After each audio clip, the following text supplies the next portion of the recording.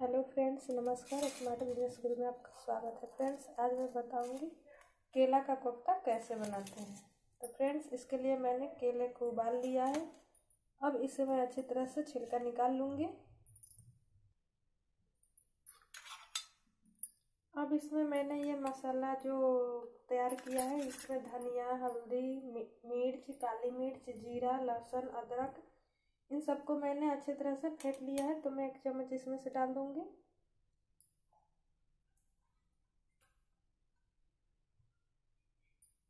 और मैं डालूँगी बेसन।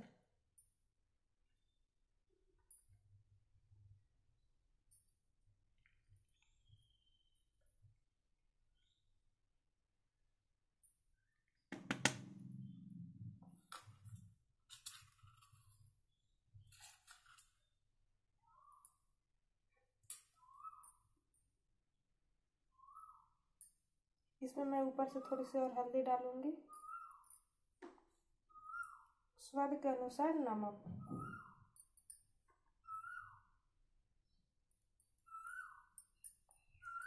और अब मैं इन सभी को अच्छे से मिक्स कर लूँगी।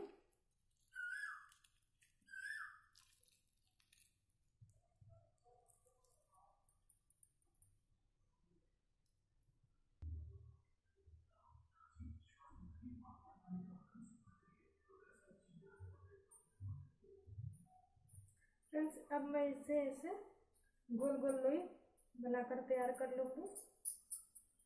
इस तरह से।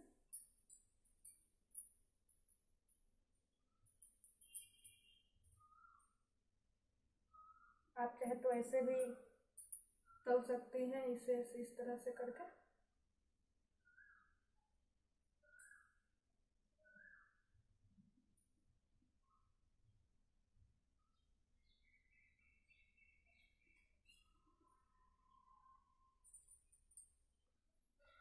मैंने ये गैस को ऑन कर दिया है और इसमें मैंने तेल गरम करने के लिए रखा है।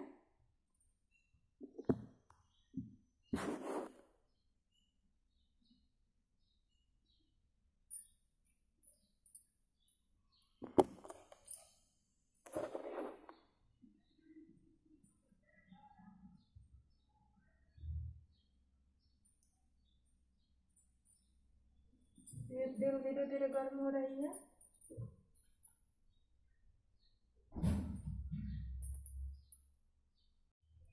फ्रेंड्स, ये कढ़ाई में तेल गर्म हो चुकी है तो मैं इसमें इस तरह से केले का जो किया है, उसे डालूँगी इस तरह।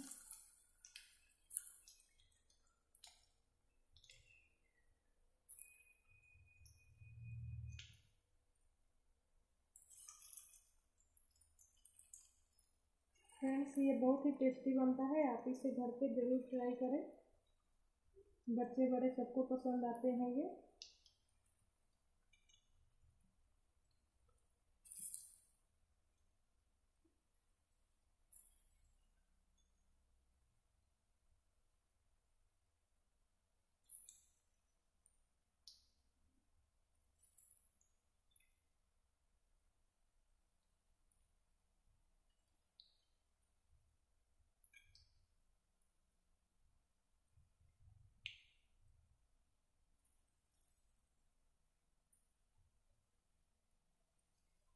देखो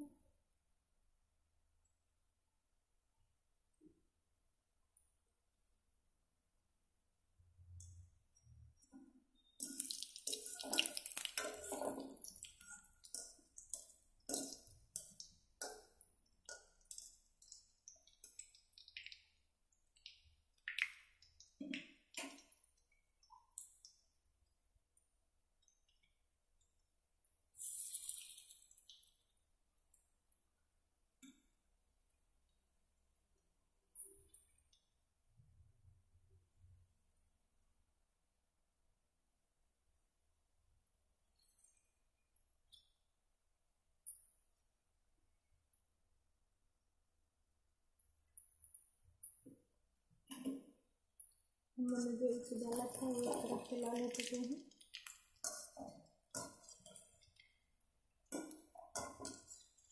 इसी तरह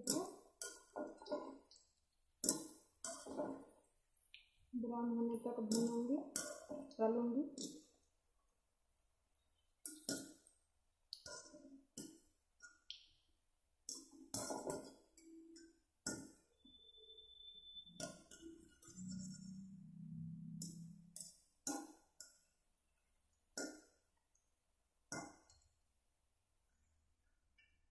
तरह से ब्राउन होने तक मैं इसे तल लूँगी।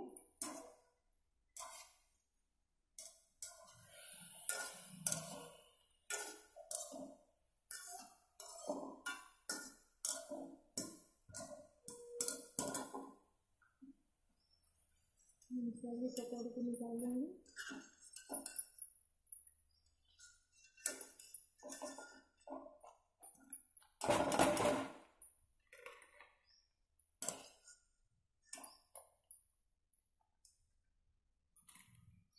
और फिर मैं इसमें फिर से ऐसे ही तलूँगी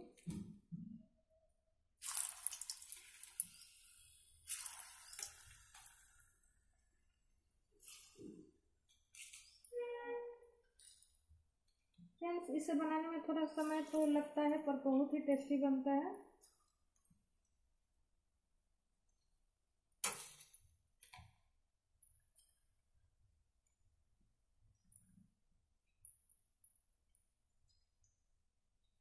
जैसे कि अभी लॉकडाउन चल रही है, हम पूरा फैमिली घर पे रह रहे हैं तो इतना तो कर ही सकते हैं ना? कुछ।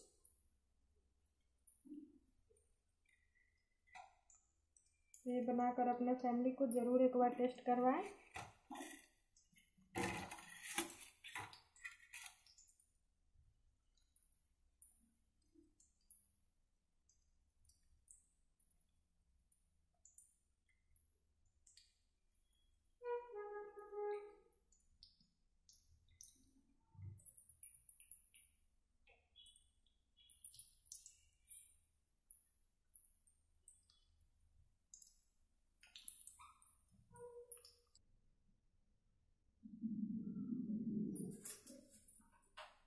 फ्रेंड्स इसमें मैं तेज पत्ता डालूँगी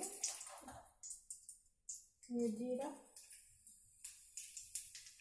आप चाहे तो सूखी लाल मिर्च या फिर हरी मिर्च भी डाल सकते हैं। तो मैं सूखी लाल मिर्च डाल रही हूँ।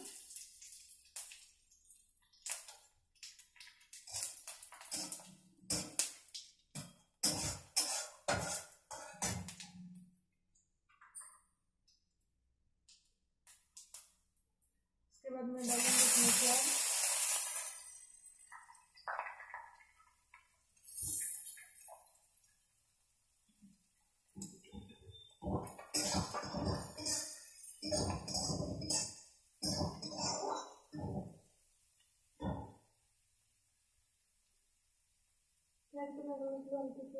नमक डालूँगी।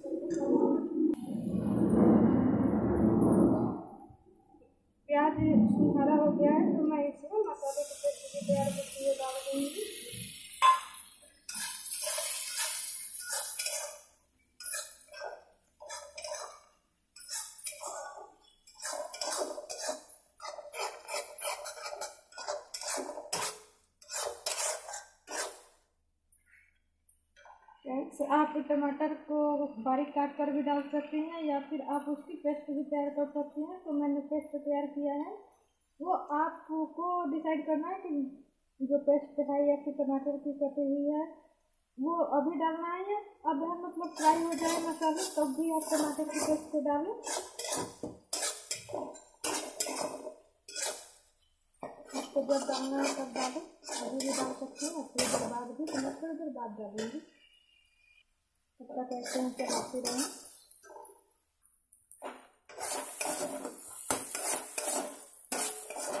फ्रेंड्स अब मेरे मसाले पूरे पक चुके हैं। जैसे कि आप देख रहे हैं।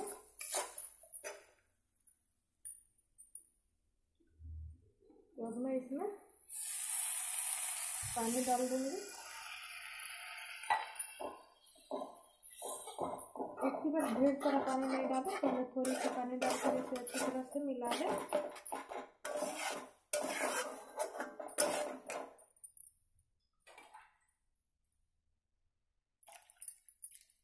उसके बाद आपको जितनी ग्रेवी की आवश्यकता है उतनी पानी डालें।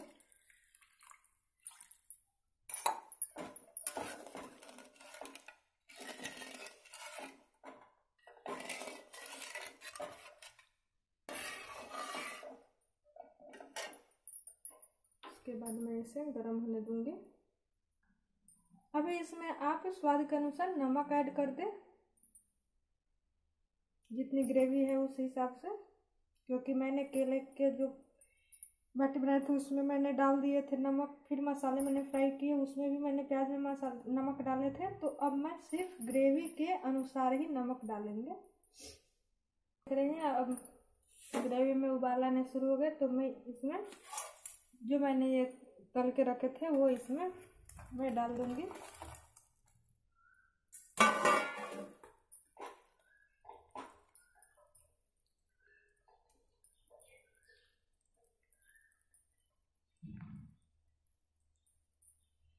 और इसे पकने दूँगी थोड़ी देर। ज़्यादा देर नहीं पकाते हैं। बस चार से पाँच मिनट तक के लिए मैं इसे पकने दूँगी।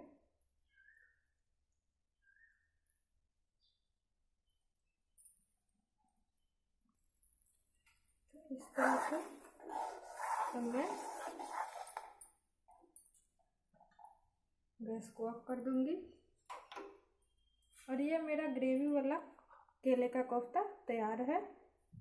तो फ्रेंड्स आप मेरे वीडियो को शेयर करें सब्सक्राइब करें और लाइक करें।